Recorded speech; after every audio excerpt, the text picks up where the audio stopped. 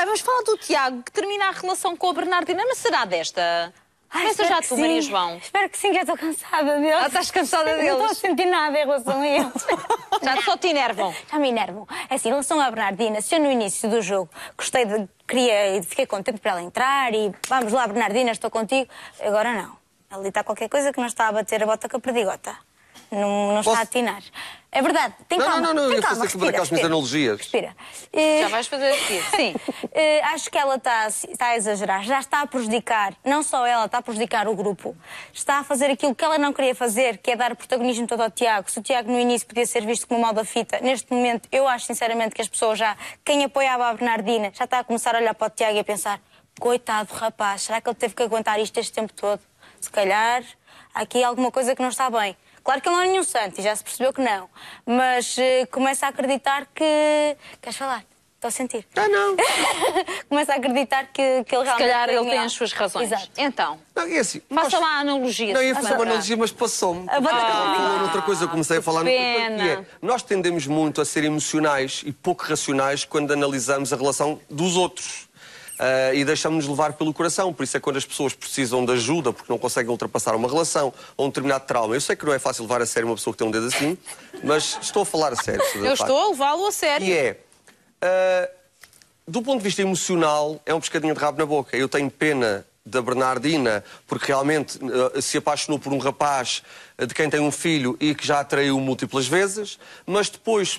Na semana a seguir, no minuto a seguir, já, já começa a ter pena do Tiago, porque realmente ela já o agrediu, ela já o trancou num quarto, ela chama-o do tudo e mais alguma coisa. Mas depois volta novamente a ter pena da Bernardina, porque ele acabou com ela e ela começa a chorar. E eu vejo alguém chorar e choro também. É nisso no vomitado. Eu quando vejo Olha, tu estás tão baralhado quanto a Bernardina, é o Não, que não me estou. parece. Isto, não, mas para ti que estou eu e estão a maior parte dos portugueses. Sim, E a analogia que eu ia fazer é o seguinte. Lembrou-se. Ahm, só porque há alguém que vai para um programa de televisão, e quando digo um programa de televisão, digo num contexto de reality show, a lutar por um prémio, e passa a vida a cramar mais do que os outros, não quer dizer que mereça mais do que aqueles que estão calados. Porque se calhar há pessoas que estão igualmente neste programa e que precisam do, e precisam do dinheiro, não para ter um filho, que não foi um acidente, não é uma doença, foi porque quiseram, porque lhes deu prazer, e tiveram outras prioridades e se calhar têm carro para pagar, contas em atraso, a mãe doente, o pai doente, a mãe precisa de uma prótese, seja de um dente, seja daquilo que for, só que não expõem a sua vida privada, é uma opção.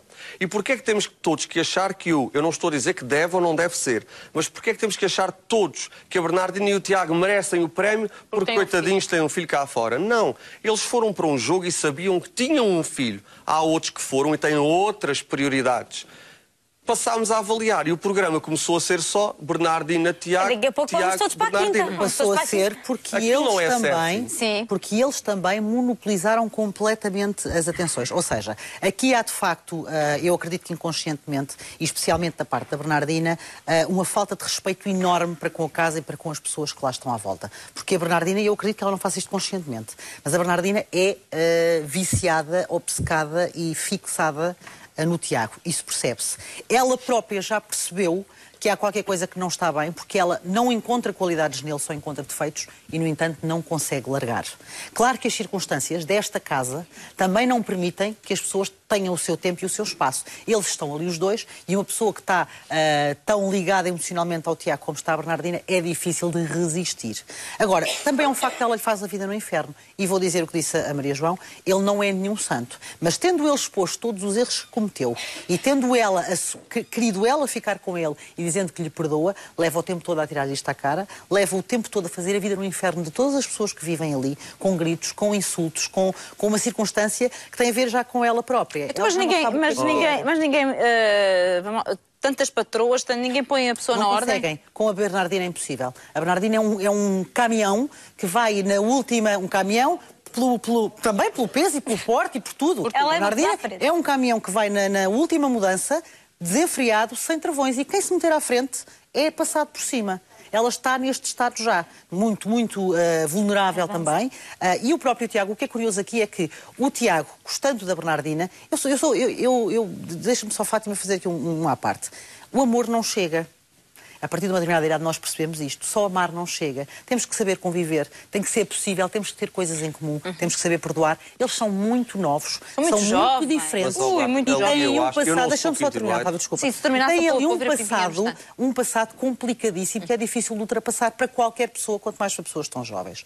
O que acaba por acontecer aqui é que tanto a Bernardina quanto o Tiago, mais a Bernardina e levando o Tiago de arrasto, estão a rebentar com a participação deles aqui. Se começaram muito bem, quanto mais tempo passar, mais difícil é aturar estes dois participantes. Mais ódio eles vão criar um com o Sim, não sei até onde é que E vamos chegar. É que eu impossível pergunto, esta não é? relação funcionar. Uh, Pimpinha, comentário Olha, rápido. Eu, eu acho que a partir do momento que a Bernardina diz que dá uma segunda hipótese ao Tiago, que ela devia eh, tentar, pelo menos, eh, começar tudo do zero e esquecer para trás aquilo que se passou. Aquilo que eu acho que acontece é que ela não consegue esquecer aquilo que ele já lhe fez, que ela já disse várias vezes eh, que ele se meteu com outras mulheres e. Mas então não e sai do isso- mesmo. E ela não consegue esquecer isso. Portanto, temos aqui uma reação bastante desequilibrada da Bernardina, que tanto está aos beijinhos com o Tiago, como, ah, por outro lado, está a insultá-lo e a dizer que ele fez isto e que fez aquilo e que ela não o desculpa, e está literalmente a arrebentar não só com a participação deles dentro da quinta, mas com a relação deles, ah, que para um bem maior, que é o filho deles, devia pelo menos, eles deviam conseguir pelo menos tentar se entender. Ou pelo Ah, menos respeitarem-se, pelo menos Sim, Mas ela já está respeitarem, neste- mas só- só como, como pessoas. Ela já diz, como vimos há bocado, ela já diz inclusivamente que ah, ou ele está com ela enquanto homem, ou não quer ser amiga dele, não quer ter nada a ver com ele, e a única coisa que quer é que ele dê o dinheiro para, para o filho. Portanto, ou é uma coisa ou é outra. Ou ele é dela, ou não é de mais ninguém.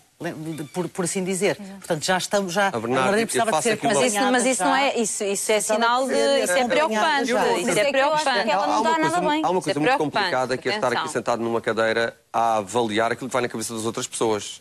Sobretudo no que diz respeito ao amor. Não vai na é? cabeça, Nós mas é aquilo que avaliamos tu Mas- Avaliamos não, mas- para dizer as que pessoas eu acho que ali já não há realmente amor. O que existe é, é uma relação pública. É, porque ele expõe-se por tudo e mais lá. Ele não Mas dá. Não ele está preocupada atrasa-se em três meses de- da pensão do menino, ela telefona logo para uma revista, ah, ela faz qualquer, ela bate-lhe ou tranca no quarto, ele telefona para uma revista. É uma relação tão pública, eles têm essa carga tão, tão pesada que há a grande necessidade de ele é meu e ele não se foi embora. Vês que afinal voltou para mim. Só, só se vão largar e entender quando, quando se apaixonarem na realidade. Sobretudo Coisa quando a não vai arranjar um acontecer. substituto Sim, para vai Deixa-me só dizer que isto Para é um mim, bom acabou. exemplo para as pessoas verem lá em casa, um bom exemplo daquilo que não se deve fazer quando se gosta de alguém. Porque quem tudo quer, tudo perde. Muito bem, meus queridos, para a semana que vem. Para, para a semana tem consultório privado. Para a semana, cabe-se espera, meus queridos especialistas. Já está, é verdade. Um aplauso para os quatro, é verdade. Quem diria?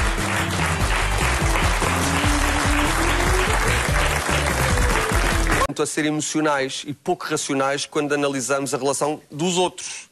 Ah, e deixamos-nos levar pelo coração. Por isso é quando as pessoas precisam de ajuda porque não conseguem ultrapassar uma relação ou um determinado trauma. Eu sei que não é fácil levar a sério uma pessoa que tem um dedo assim, mas estou a falar a sério. Eu estou a levá-lo a sério. E é, ah, do ponto de vista emocional, é um pescadinho de rabo na boca. Eu tenho pena da Bernardina, porque realmente ah, se apaixonou por um rapaz de quem tem um filho e que já a traiu múltiplas vezes, mas depois, na semana a seguir, no minuto a seguir, já, já começa a ter pena do Tiago, porque realmente ela já o agrediu, ela já o trancou num quarto, ela chamou do tudo e mais alguma coisa, mas depois volta novamente a ter pena da Bernardina, porque ele acabou com ela e ela começa a chorar, e eu vejo alguém chorar e choro também. É nisso no vomitado. Eu quando vejo Olha, tu estás tão baralhado quanto a Bernardina, é o Não, que não estou. parece. Isto, não, mas para ti que estou eu e estão a maior parte dos portugueses. Sim, E a analogia que eu ia fazer é o seguinte. Lembrou-se. Ahm, só porque há alguém que vai para um programa de televisão, e quando digo um programa de televisão, digo num contexto reality show, a lutar por um prémio, e passa a vida a cramar mais do que os outros, não quer dizer que mereça mais do que aqueles que estão calados. Porque se calhar há pessoas que estão igualmente neste programa e que precisam do. E circunstâncias desta casa também não permitem que as pessoas tenham o seu tempo e o seu espaço. Eles estão ali os dois e uma pessoa que está ah, tão ligada emocionalmente ao Tiago como está a Bernardina é difícil de resistir.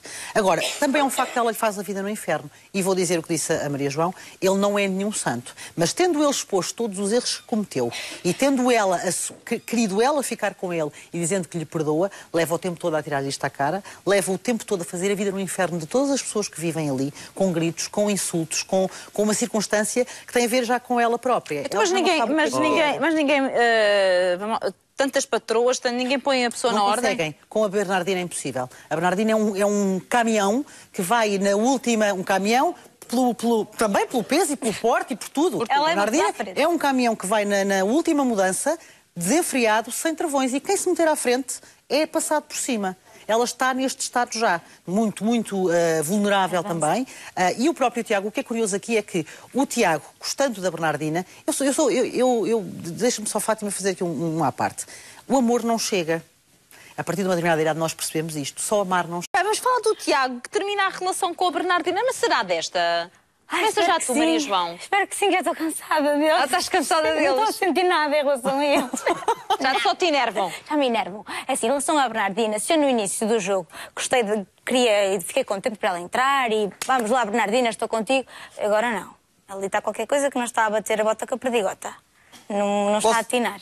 É verdade, tem Não, calma. não, não, tem eu calma, aqui uma respira, minhas respira. analogias. Respira.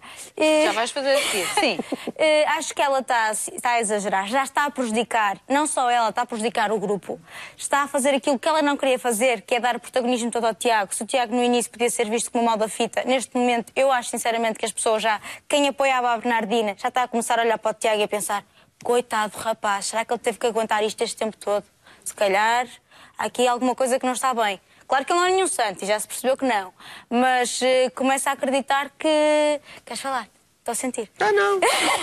começa a acreditar que, que ele Se realmente. calhar ele tem as suas razões. Exato. Então, Não, é assim. faça nós- lá a analogia. Não, ia faz fazer uma analogia, mas passou-me. Ah, falou noutra coisa, eu comecei a falar coisa. pena. que é, nós tendemos muito. chega. Temos que saber conviver, tem que ser possível, temos que ter coisas em comum, temos que saber perdoar. Eles são muito novos, São muito jovens. diferentes. Mas, Ui, muito e jovens. têm um passado, deixa-me só terminar. Fábio, desculpa. Sim, se têm a ali um passado, um passado complicadíssimo que é difícil de ultrapassar para qualquer pessoa, quanto mais para pessoas tão jovens. O que acaba por acontecer aqui é que tanto a Bernardina quanto o Tiago, mais a Bernardina e levando o Tiago de arrasto, estão a rebentar com a participação deles aqui. Se começaram muito bem, quanto mais tempo passar, mais difícil é aturar estes dois participantes, mais ódio eles vão criar um com o Sim, não sei até onde é que e vamos chegar. É que eu impossível pergunto, esta é? relação funcionar. Uh, Pimpinha, comentário Olha, rápido. Eu, eu acho que a partir do momento que a Bernardina diz que dá uma segunda hipótese ao Tiago, que ela devia eh, tentar, pelo menos, eh, começar tudo do zero e esquecer para trás aquilo que se passou. Aquilo que eu acho que acontece é que ela não consegue esquecer aquilo que ele já lhe fez, que ela já disse várias vezes